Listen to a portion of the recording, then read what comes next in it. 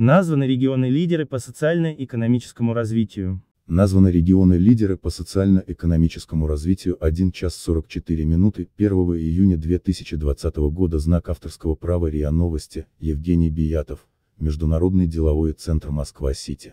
Знак авторского права РИА Новости, Евгений Биятов. Международный деловой центр Москва-Сити. Архивное фото Москва, 1 июня РИА Новости. Социально-экономическое положение в 2019 году по сравнению с предыдущим улучшилось в 69 регионах России, в лидерах по-прежнему остаются Москва и Санкт-Петербург, крупные финансовые и промышленные центры, а также регионы сырьевой направленности, свидетельствует исследование РИА Новости. Как считали десятый по счету рейтинг социально-экономического положения субъектов РФ подготовлен экспертами РИА Новости и построен на основе агрегирования ключевых показателей регионального развития за 2019 год. Его результаты позволяют судить об уровне экономического развития того или иного региона, его позициях на экономической карте России по итогам 2019 года. Методика составления рейтинга основана на агрегировании различных показателей, характеризующих экономическое положение регионов. Анализируемые показатели были условно разделены на четыре группы, показатели масштаба экономики, ее эффективности, показатели бюджетной, а также социальной сфер. 24 декабря 2019 года, 18 часов 26 минут Матвиенко предложила разработать стратегию развития каждого региона. Разрыв между лидерами и аутсайдерами результаты рейтинга показывают, что значение интегрального рейтинга увеличилось по сравнению с результатами 2018 года в 69 регионах, что свидетельствует об улучшении социально-экономической ситуации в данных субъектах РФ в 2019 году. Среднее значение интегрального рейтинга всех регионов выросло с 41,6 по итогам 2018 года до 42,7 балла по итогам 2019 года.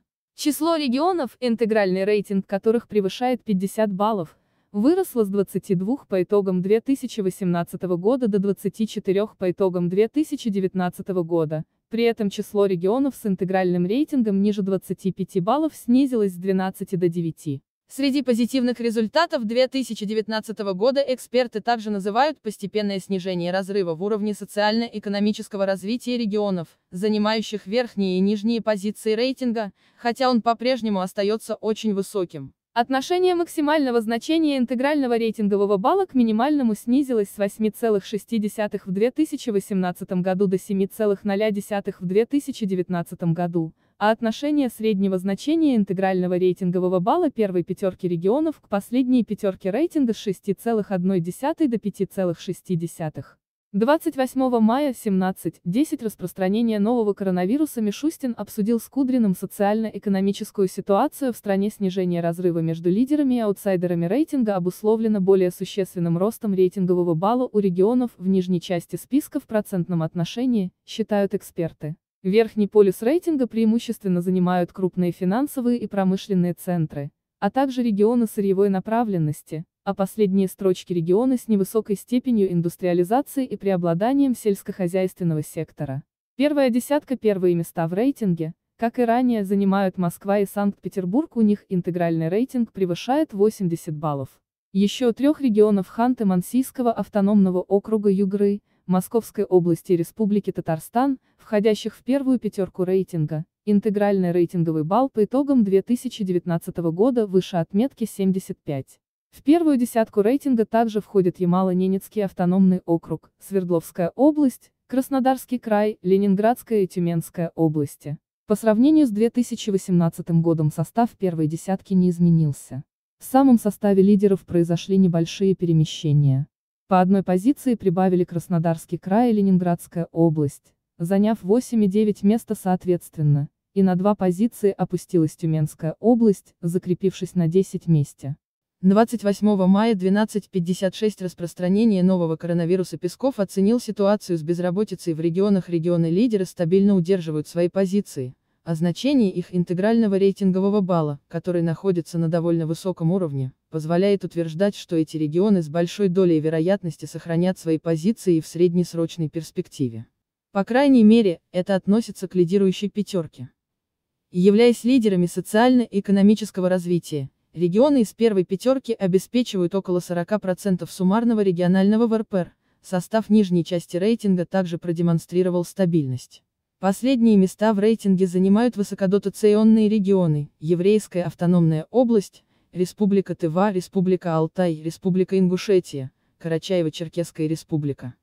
Если говорить о замыкающей десятке, то к вышеперечисленным регионам добавляются Республика Калмыкия, Чукотский автономный округ, Республика Северная Осетия, Алания, Кабардино-Балкарская республика и Камчатский край, который вошел в последнюю десятку, заняв 76 место, на котором ранее находилась Курганская область, занявшая в рейтинге по итогам 2019 года 73 место.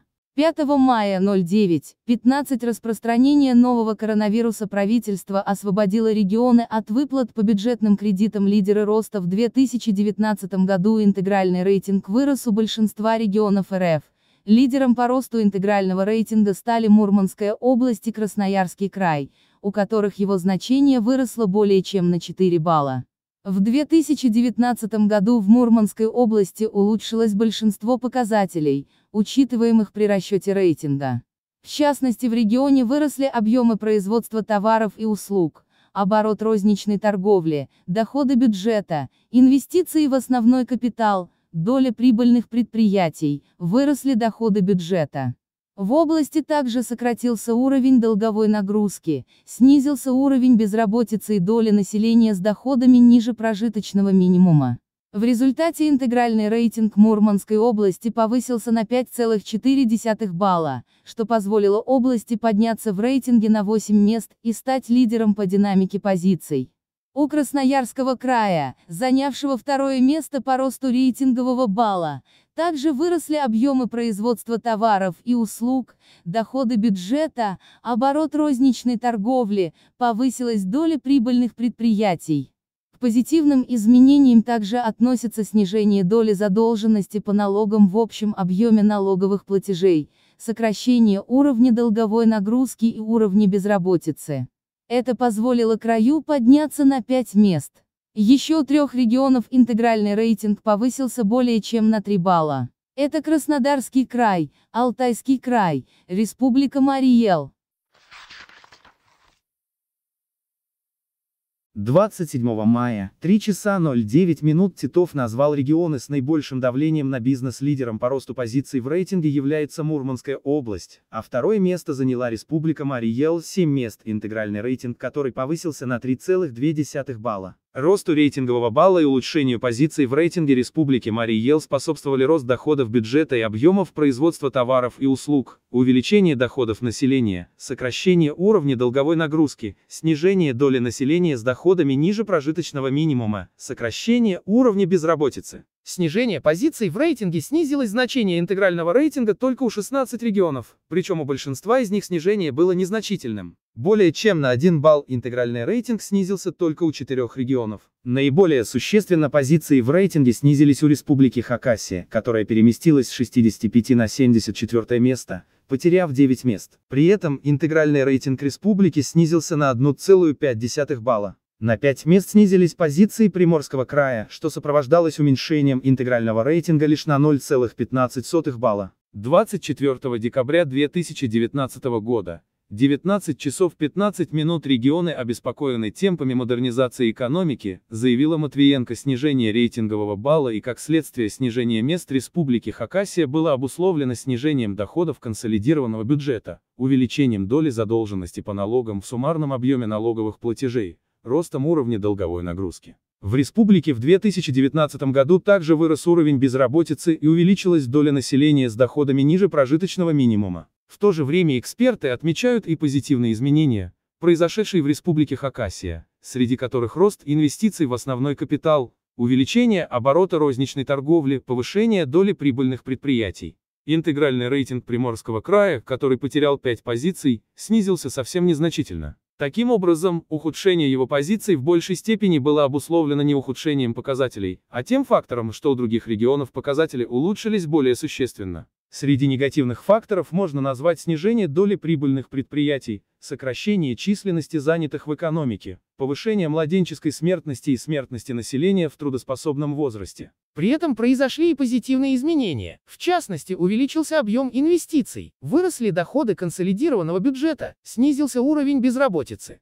4 декабря 2019 года, 13 часов 14 минут спецпредставитель Путина рассказал, как регионы удерживают стартапы в свою очередь. Последствия от коронавируса в наибольшей степени коснутся регионов с крупнейшими административными центрами, которые вынуждены были вести наиболее жесткие ограничения в условиях пандемии. Для многих регионов 2020 год станет серьезным испытанием, но многое будет зависеть от мер государственной поддержки, а также от активности и оперативности местных властей по нормализации экономической ситуации.